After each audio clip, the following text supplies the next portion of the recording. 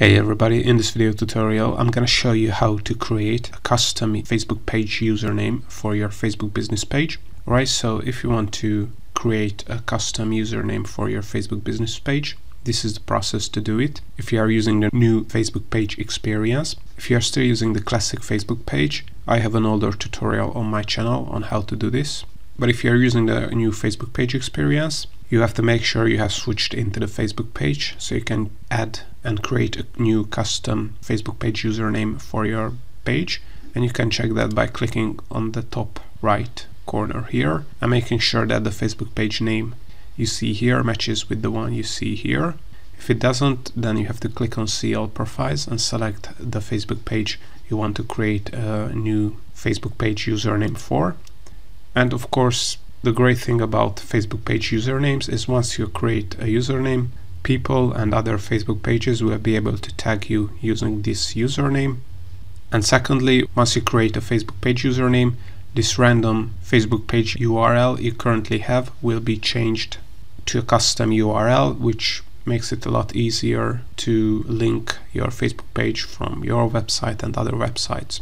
Alright, so once you switched into the Facebook page, to create the new Facebook page username, all you have to do is click on settings on the left here.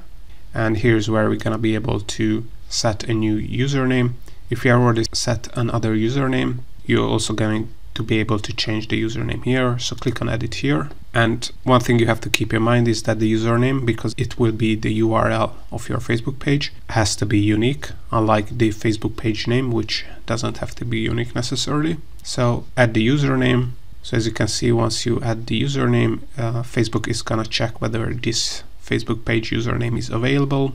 And you also have to make sure to use to not use certain characters. As you can see, the hyphen is not a valid character.